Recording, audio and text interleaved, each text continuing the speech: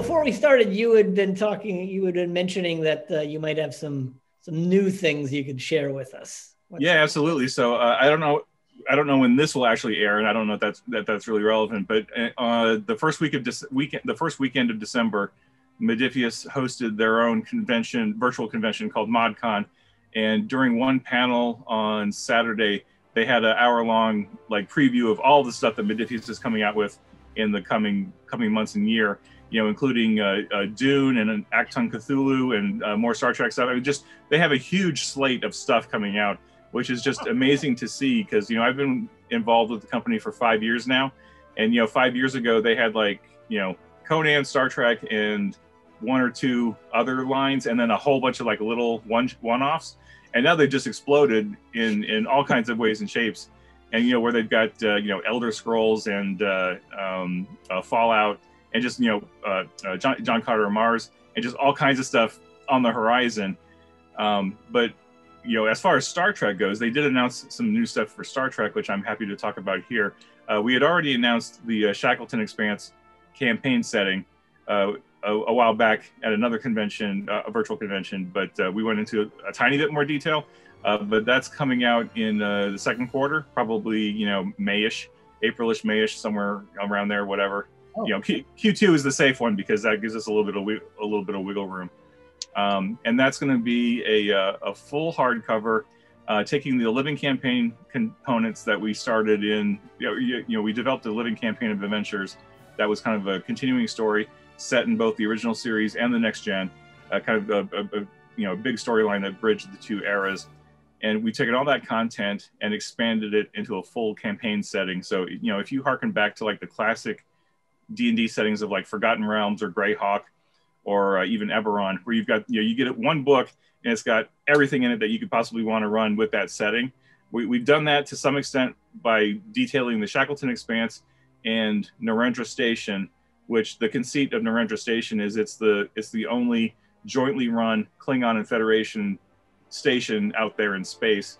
And we, you know, we, we thought it was a perfect time to to do this book because the Klingon book had just come out, right? Yeah. So you get the Klingon book, and now you can go into the Shackleton Expanse campaign setting, which you could run either as Federation or as Klingon, right? I mean, it's up to you. If you're running a Klingon game, then by all means play the campaign. And um, so it's not just the campaign setting, but it's also a huge 10 part um, epic storyline that we started in the living campaign, and now we'll be able to continue it and finish it in, in the in the context of the book because I know a lot of fans had played the living campaign, and then when we when we brought out the like the season one quote unquote season one finales in early 2019, they were like, okay, what's next? and and we had gotten caught up on other stuff and you know we realized that the release schedule that we wanted for the living campaign just wasn't realistic between development and approvals and all that other stuff. So we decided to to let it sit for a little while, and then we came back to it, and we were like, you know what, this makes more sense as a book. Uh, to instead of trying to manage the the regular release schedule, which was a huge um, a huge challenge more than anything else, uh, we decided just to do. We it would be more efficient to do it as one big book, and then just drop this toolkit on game masters and players and say, here's the story, here's the setting, here's the station, here's all these cool NPCs and events and situations go, you know, knock yourself out, do whatever you want with it, and have fun. And and I think that's what I loved so much about like Forgotten Realms, like that gray box set that came out way back when. Yeah. Is like is like I could do anything I want with that, and I could spend years as a game master or a player playing just that box set, and we would get you know tons of joy out of it. And so that's that's been my de- design philosophy for the Shackleton book is that uh, we're gonna we're gonna hit people over the head with so much content and, and so much little like nuggets and, and ideas on every page that I'm hoping that they just mine it for details, you know, forever. Like, I don't know, but uh, hopefully they get a lot of joy out of it because uh, it's, it's been a lot of fun to, to write and edit. And um, I'll just, you know, hopefully it, it, what's going to be really interesting though, you know, is, uh, and I'll stop babbling about it here in just a minute. Um, it, it is the, it is the first product really in our, in the Star Trek Adventures line that is largely unique, right? It's not really canon based because right. the Shackleton the Shackleton Expanse is a, is a chunk of the Beta Quadrant that we created for the game, and CBS told us basically, you know, do what you want with it. You know, there's no other licensee using it. You know, it's not in Star Trek Online. It's not in any of the comic books. Uh, it hasn't made an appearance in any of the novels, as far as I can tell. And um, So that we're like, we have this little chunk of the beta quadrant that we can do whatever we want with, and the CBS was totally cool with that. Um, and so th- that's kind of a unique thing. Is like there's this chunk of the of the beta quadrant that you know, as a player and as a game master, you can play with, and you can literally do anything you want with it. You don't have to worry about screwing up canon because there is no canon. You know, and same thing with yeah, and same thing with the Narendra Station, right? That's that's a complete complete fabrication on on our part. So you know, do what you want with that. Um, we are including uh, a handful of new species in the book, so there's going to be some new playable character species in there that aren't literally aren't anywhere else in the in the you know the whole intellectual property. So hopefully you know wow. fans will appreciate that and go, oh, you know, new section of space, new species. Let's let's go crazy and have some fun with it. So I'm really excited to see what uh, what the re- reaction to it will be uh, you know, if, it, if it's horrible, then we'll never do it again. but you know, if, if it's favorable, then you know we'll we'll figure out what to do next. Uh, so we'll see. Um, so that's that's Shackleton. So, so that'll be out, you know, Q2. Uh, they also announced finally uh, the tricorder box set, and this is something that has been in development. I mean, literally, I was talking to Sam. Sam was the Sam was the project manager before me, uh, and then he got promoted to head of product at Modiphius, and I took over from him on uh, Star Trek but he he had started putting the idea together for a tricorder box set like way back when we were first developing the line. He wanted to do he wanted to make sure that we had a Borg cube set for yeah. for the super fans, and then he also wanted to do a smaller box set uh, that was a tricorder, like the original series tricorder, for the original series fans. And uh, so what it is, it's going to be a a cardboard box with a with a magnetic flip lid, and it's going to be styled to look like an original series tricorder with a leather with a you know a leatherette strap and everything. So you could literally use it for a cosplay, um, you know, accessory if you wanted to. Oh, and then inside the box is going to be uh, reference cards, you know, just like with the screens, um, uh, a set of uh, character sheets for the Enterprise crew, uh, an original set of sheets for the Lexington crew. So the USS Lexington is another optional, you know, group you can play. Uh, there'll be a three-part campaign uh, in the in a, you know, three, a, a campaign booklet uh, that I wrote. I mean, gosh, it's been three, it's been three years now uh, that I wrote, and then uh, a 300 page uh, digest of the rule book. Uh, so instead of having a full blown hardcover of the rule book, this will be a condensed 300 page version of the rule book, and it's going to carry all of the original series uh, layout. So if you're familiar with some of the original series adventures we've done, or the um, uh, in Strange New Worlds, the the adventure anthology, we have a different layout for the original series compared to the next generation. Right, it's a different kind of instead of the LCARS, we went with like a, a white background layout. Yeah. Uh, so the entire the entire set is laid out in that original series format, look and feel. So the uh, you know I know we have a very large cadre of uh, you know original series fans who are like we really want original series stuff you know, even though the game rules and the game system are the same no matter what era you're playing in, they really want the aesthetic look and feel of the original series. And for those folks, this is the set for them because it's it's it, it just oozes original series. And uh, to the point, can't wait to see yeah. I'm sorry. I said that sounds great. I can't wait to see that, and I'm sure yeah, and I, that's going to yeah, show remember, up at some conventions. yeah. It, oh, I'd love, if we ever get back to conventions, I'd love to see people using it.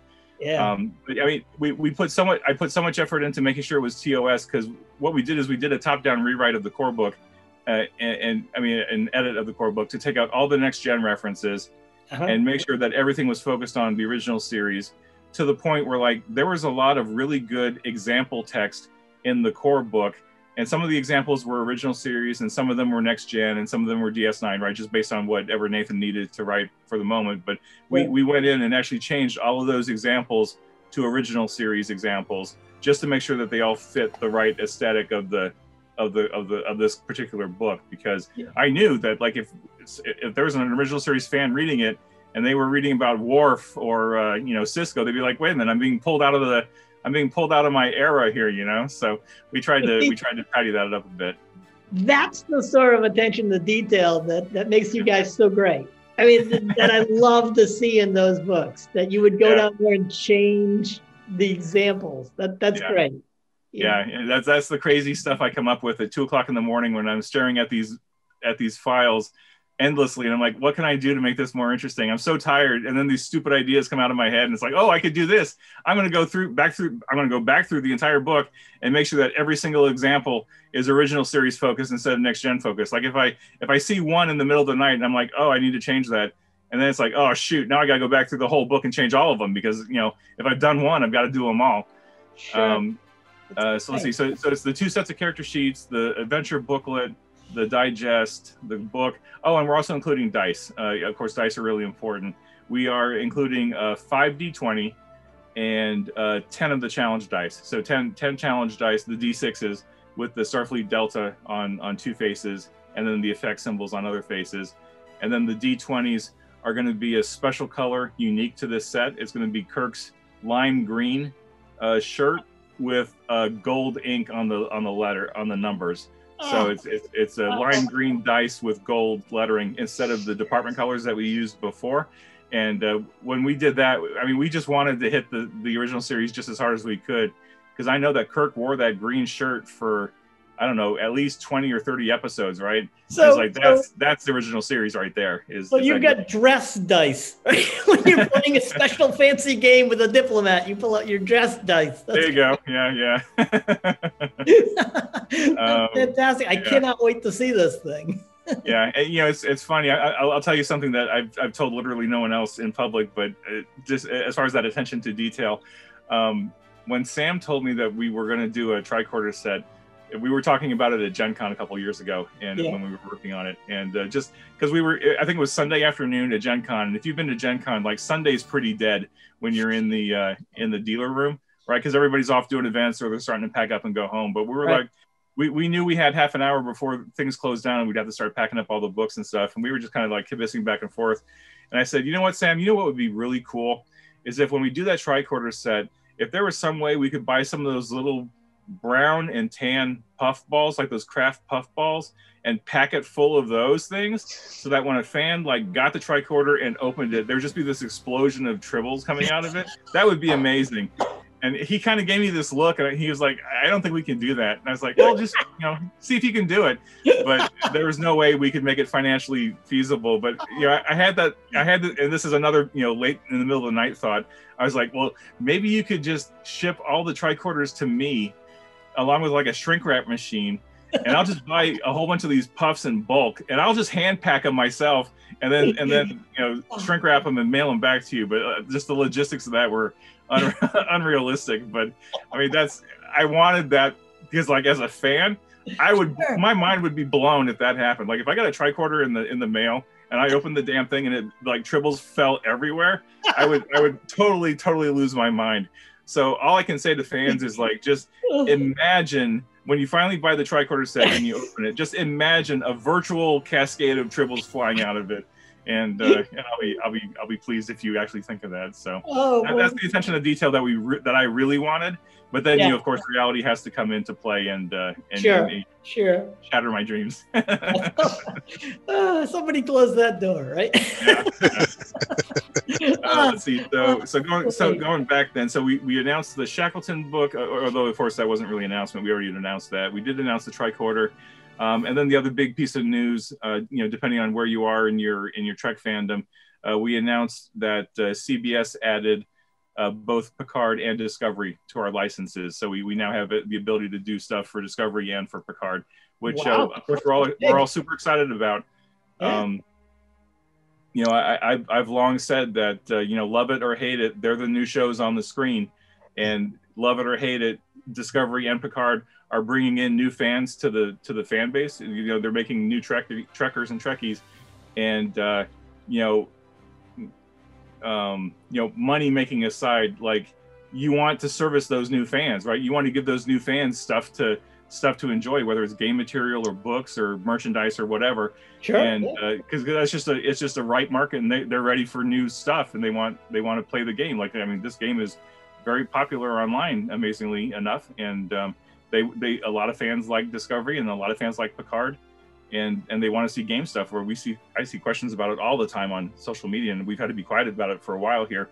Um, but they finally announced it, so you can look forward to Discovery stuff and Picard stuff in the in the coming future here, which is uh, super exciting for me because that just means we got more stuff to work on, and uh, you know, if, if we do it well, then I, you know, we know that CBS also has lower decks, and they've got Strange New Worlds coming, and they've got uh, Prodigy coming, and uh, you know, who who knows what other series they're they're going to be working up, right? I mean, I think uh, the last interview I heard from uh, Kurtzman is that they're looking at another ten years of Star Trek on on screen, right, from, from across all their different series, and uh, you know, in the back of my head, I'm like, you know, if, if we keep doing Strange New World, or if we if we keep doing a Star Trek Adventures and not sucking it up, then we're going to be around for a while, hopefully.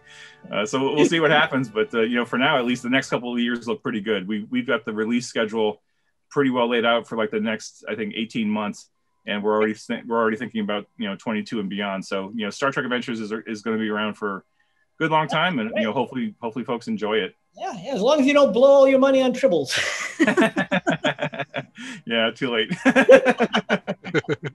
well, that sounds really exciting. Uh, yeah, yeah. Uh, congratulations. Uh, yeah, thanks. sounds really good. Great. Yeah, it's a it's a lot of work, and you know, I you know I, I've mentioned this on social media, but uh, um, they didn't announce everything we already have in the works, so there there is more to come, and there is more to announce. Uh, those were the those were the four big things that they were comfortable announcing at uh, at this uh, you know at, at this event. Uh, so just uh, stay tuned. You know, I, I joke with the fans a lot on social media, and I've been telling them for months to start saving up your latinum.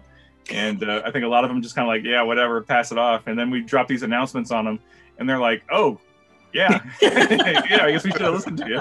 So we'll, we'll see what happens. But uh, it's pretty exciting stuff. Look, look yeah. forward to that. All right.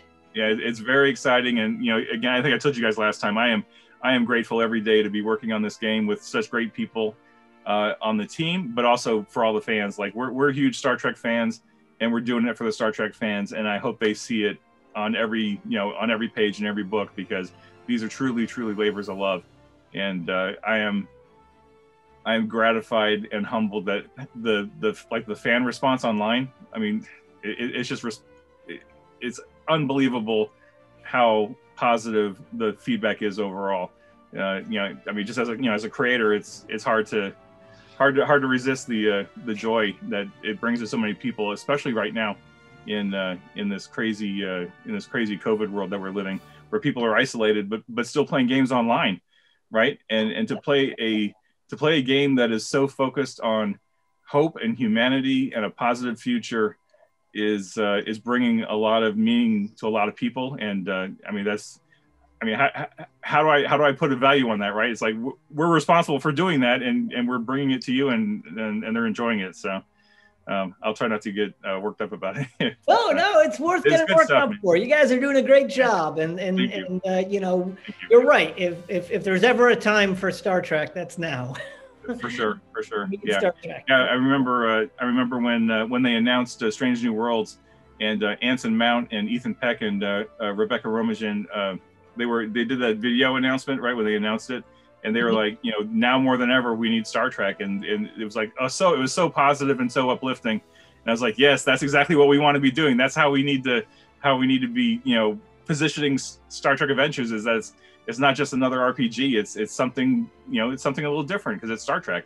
Yeah. And uh, um, you know we'll see we'll see how it goes. I mean we're we're we're on a good we're almost at, at the end of four years now, shockingly enough, and we've got more to go. So wow. uh, pl- plenty of runway left. I mean even if we didn't get Discovery and Picard, we still got plenty of products that we can release for the game that that we still haven't really touched on yet. Right? You know like we could sure. do a, a time travel book or a um, alternate universe book or a starships book. I mean, there's just plenty of stuff that we can still oh yeah um, still work on. But you know, fortunately, these new licenses are coming out, and uh, you know, fortunately, CBS is really happy with the work that we've done, and uh, and they're and they were willing to to to bring you know add uh, Discovery and uh, and Picard to our license, and uh, I mean that's that's a testament to the entire team at Modiphius. Honestly, is like if we weren't putting out if we weren't doing our best to put put out the best product we could, I think CBS, you know, I mean, they're, they're the licensor, they own the, the rights, right? They'd probably say, uh, you know, step it up or, or, you know, step off and we'll find someone else or, or sure. you know, someone else can, can take the license. But, uh, sure. you know, sure. so far, so good. Yeah, no, that's great. All right. Well, thank you for coming back. It's been a joy to talk Anytime. to you again. And, and uh, thank you for your work. This is really fantastic. Yeah. And thank you for all those those great tidbits. Lots of fantastic, exciting things coming up. Yeah, yeah. thanks. And, and, like I said, this is the first the first chance I've had to do a, a chat with anybody after ModCon. So uh, you're getting the uh, exclusive poop here on a lot of this stuff. So, all right. like the fandom as a whole, super awesome, and uh, you know we wouldn't be doing this without them, and we couldn't do it without them. So I'm I'm grateful for every every single fan out there. Um, thank you, and uh, and thank both of you. All right. Excellent. Well, I hope our viewers are thrilled by all this news. Um, I know we are. yeah. You, you um, see, I'm, I'm, bouncing, man. I'm, I'm, ready to. I'm ready to work on all of it. so, to our viewers, um, thank you for watching. Um, please be safe and have a good day.